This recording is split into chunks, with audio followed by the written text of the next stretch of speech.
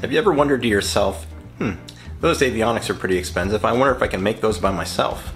Well, the answer is yes, you can. About a month ago, I traveled down to Florida uh, to the Sun and Fun Fly-In. I had two main goals in mind. Number one, I wanted to talk to the uh, engine manufacturer that I want to put in my Sonex, that being uh, the Aero Momentum.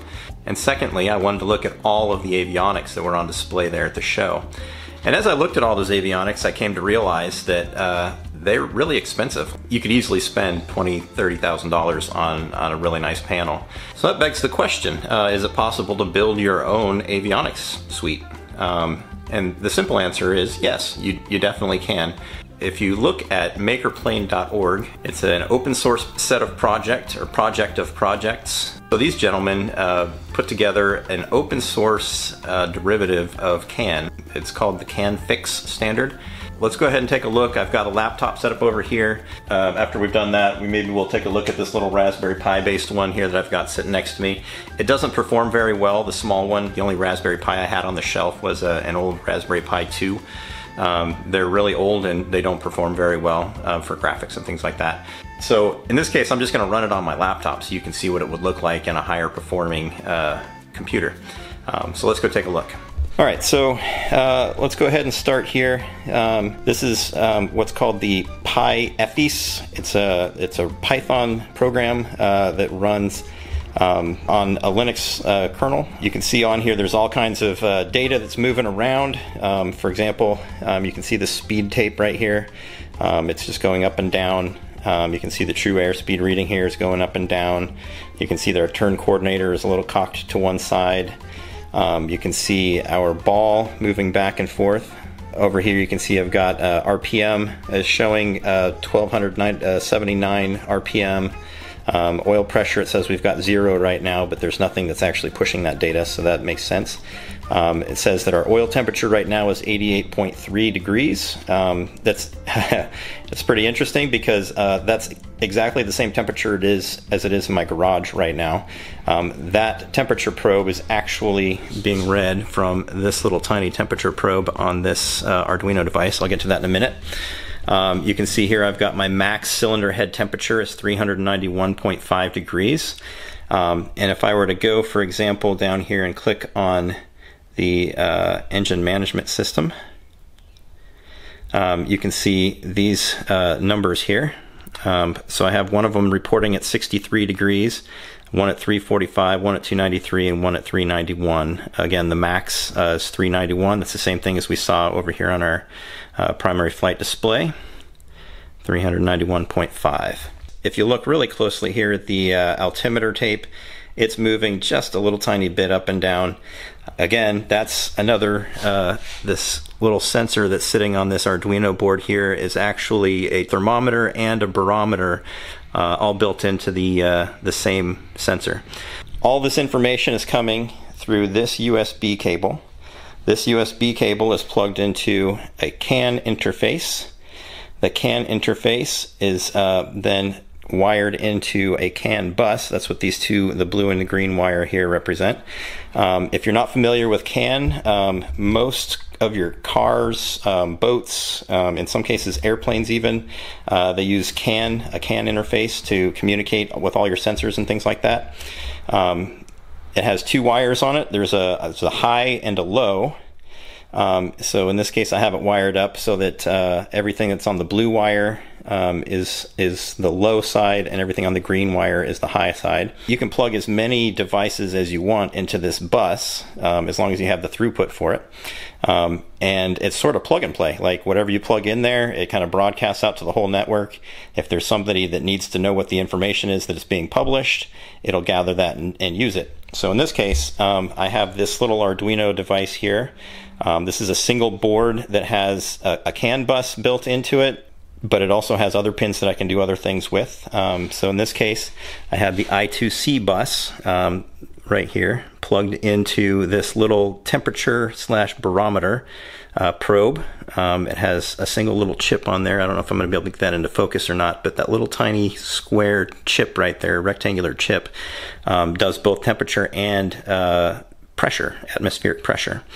That is being collected here, pushed down through these wires where the Arduino um, has code on it that translates that um, and then pushes it out to the CAN bus. So this is a, just one of the wires going into the CAN to the CAN network here over into this bus where it's being collected here and then drawn back up through the wire here and then into our display.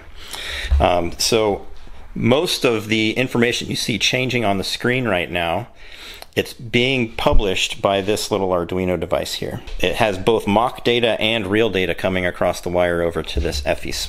Um, the RPM here, that's uh, just, again, numbers that I'm pushing across the wire.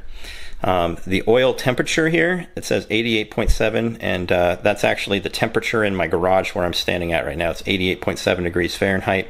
Let's keep an eye on that sensor, and I'm going to put my finger over the top of the temperature, uh, over the top of this thermometer, and you'll see that that oil temperature is beginning to rise. I'm going to let go now, and it will start to decrease as the uh, air temperature cools down that thermometer.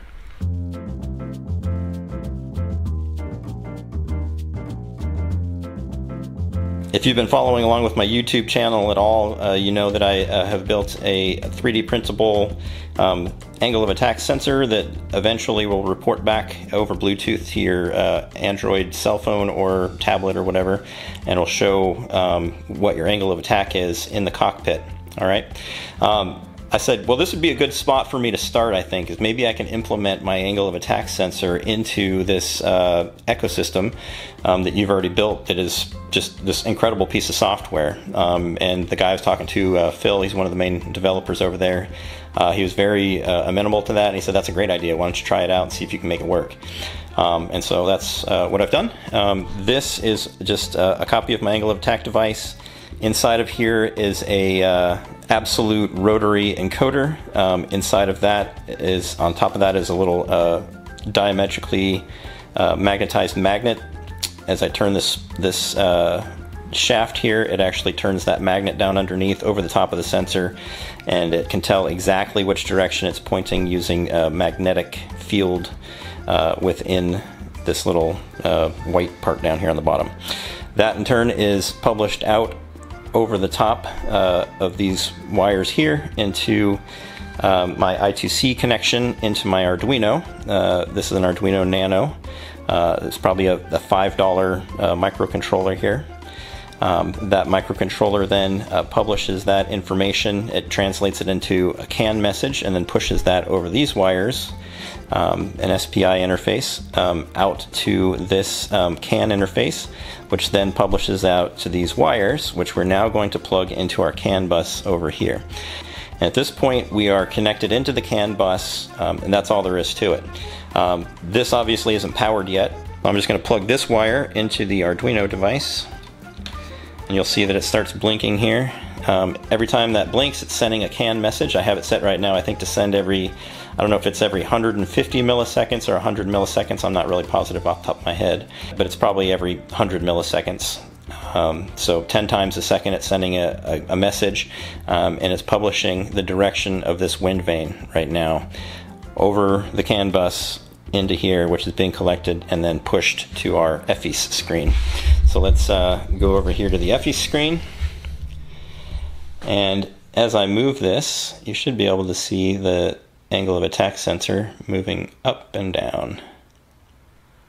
Um, one of the things, if you remember from my uh, videos about the uh, angle of attack sensor, um, you'll remember that um, you have to be able to set certain um, certain angles uh, on your sensor so that uh, you know when you're going to stall and when you're flying level. Say there's there's several ways to do this. Um, one way that you can do it is you could just put a button um, on this device itself and have that coming up to the panel and you could then you know just push a button on your panel someplace.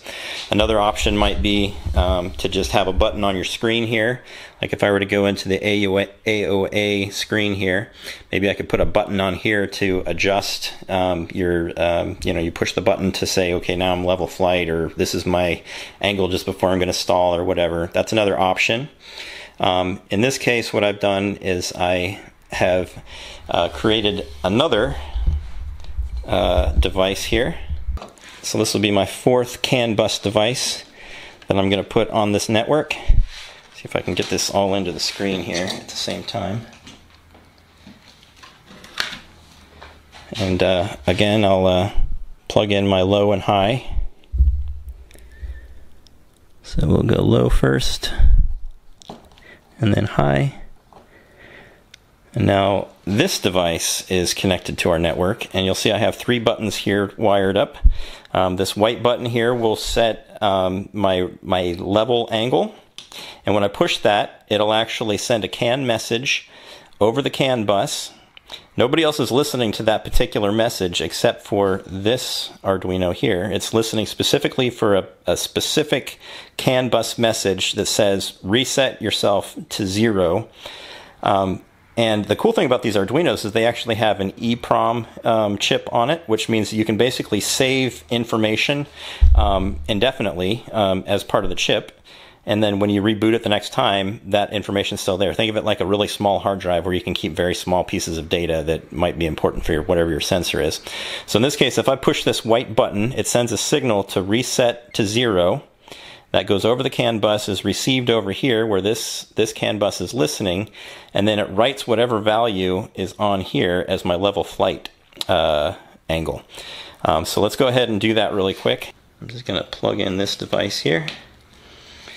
And you'll notice that this one is flashing like crazy because it's sending messages every, uh, you know, 100 milliseconds or whatever. This one isn't flashing at all. It's not doing anything. You see it flash a little tiny bit when I hit the button. Um, and so basically what that's doing is when I, when I push this button, it's just sending a signal saying, hey, you, set your, set your zero uh, level flight angle to whatever the uh, sensor is telling you right now. That's, that's going to be your forever level sensor. This device says, okay, well, whatever you are right now, that's going to be zero now. And then it writes it to the EEPROM chip that's on this board. And then the next time you restart it, it's there in, indefinitely until you reset it again. Let's watch over here on the screen while I do this. Let's see if I can get this to all show up in the screen here at the same time. So let's say that we have our uh, angle of attack up kind of high, like right there, it's at 9.9 .9 degrees or something like that. If I push this white button again, that's going to drop all the way down to zero, and that's actually been written to the EEPROM here on this uh, sensor device, and then it's set for good. You don't have to do it again.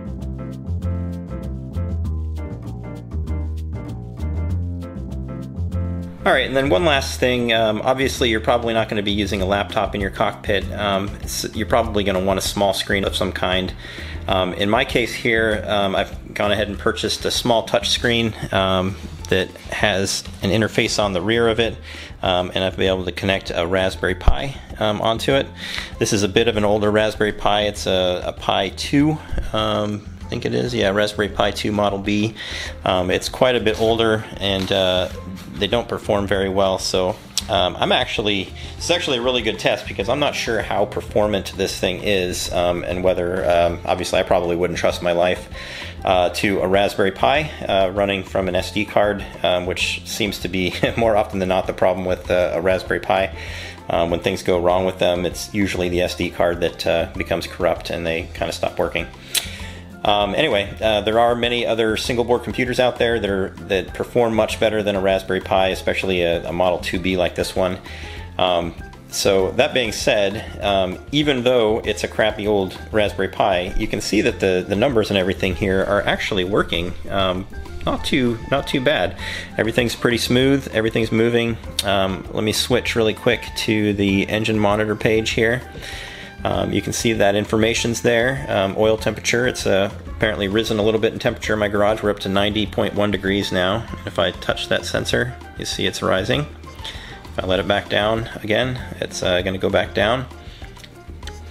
Um, if I just go to the AOA uh, sensor here, that's just kind of the base. Uh, this was my test page just to see if I could get it to, to superimpose over the top of any any screen at all. Um, and now if we go back to the uh, PFD here. It may take a second to load. Um, and all that's still happening. I can still move my uh, angle of attack sensor. The It's moving up and down. It's maybe a quarter second delay or something like that, but it's, it's still holding on. Uh, um, I could uh, let me set this all the way up so it's kind of high and I'll push the white button here and you can see that it will reset back to zero. Um, and then I'll move it back down and set it to zero again. Um, yeah, so everything is, is working as it was on my laptop. It's probably just a hair slower. Um, and again, I, I, you know, this is a crappy old Raspberry Pi. It's probably only got like one gig of RAM, if that. I'm not even sure what the, the 2B has. Um, but there are some really high powered um, single board computers um, that would run a Linux kernel with no problem and would definitely run this without any issues at all. Anyway, let's talk about hardware. This screen, the touch screen, I paid, I think it was $80 for, it's a 7 inch um, color touch screen. Uh, the resolution on it is 1024 by, I think it's 600. And then we have several um, Arduino devices. Uh, I believe this one was probably uh, probably $20 or something like that. Uh, I'd have to look again. Um, so this device is $20. The, uh, the thermometer and barometer um, chip here was probably, I don't know, $5 or $10 or something like that. Um, this um, Arduino Nano, um, that one and this one are the same. I think I, they cost about $5 each. Um, these buttons here, I don't know, I probably bought them for several dollars. They were sitting in a, in a box in my house that I'd used for a different project before. Um, I, am sure I didn't spend more than $20 on a box of, you know, 30 of those or something. Um, these CAN interfaces here that interface with the Arduino. Um, I don't remember exactly what I paid for them, but I think it was probably like, I don't know, $10 a piece or something like that. Um, and the, the more expensive one was this one um, that I have plugged into the laptop or um, Raspberry Pi in this case. The USB one here I think was like $35 um, for that interface. Um, they, they sell them a little bit cheaper than that, but um, I liked the interface. I liked that it had the uh, DB9 connection here for, for working with later. So I would say all in, all of these different parts, the Raspberry Pi on there I bought probably, I don't know, 10 or 12 years ago um, and probably paid $30 or $35 for that. Um, so all for everything that's here on this desk right now, apart from the laptop obviously, but um, for all of the hardware to make this simple um, Raspberry Pi FE system here, uh, I probably have $200 um, for everything that's here. So compare that price, you know, maybe $200, something like that, compared to what I saw when I was at Sun and Fun, um, which again could have been upwards of, you know, 15, 20, 30,000 dollars, depending on what kind of equipment you wanted to put in your airplane. I mean, that's that's a pretty good bargain. Um, it will take a little bit of time to, to in, implement everything that you want in there. You'll have to do some write some code and things like that. Um, but it's a, it's overall it's a pretty cool system, and uh, I've got some uh, sensors on the way. I've actually uh, ordered a couple of uh, air pressure differential sensors. Um, I think they were like uh, 35 bucks a piece or something like that. Um, but they're high high end, high quality ones um, that you could actually use for a, a pitot-static sensor system. Um, I'm going to do some testing on it, obviously, to see how it works. Um, and I'd like to actually build an angle of attack sensor out of about two of those sensors. So one of them for pitot-static system, another one for uh, you know the pressure differential type of uh, angle of attack sensor. I'm going to build one of those as well, just to kind of see how it works and um, maybe implement that as well. Anyway, thanks Phil and the guys at MakerPlane um, for all your, your efforts and making this such a cool product. Um, I'm looking forward to actually probably putting this in my airplane when I'm done working on it. Um, even if it's just a secondary uh, display uh, with some secondary sensors and things like that. Um, I think it's it's a viable solution. It's it's really pretty cool. Um, and again, it's open source. So if you're a developer and you know how to write uh, Python and or uh, C code for Arduino's, uh, you can really do some cool stuff with this, uh, this little system here.